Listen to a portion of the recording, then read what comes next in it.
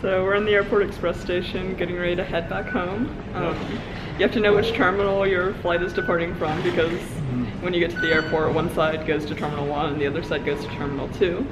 Um, the Airport Express is a pretty easy way to get from anywhere in Hong Kong back to the airport.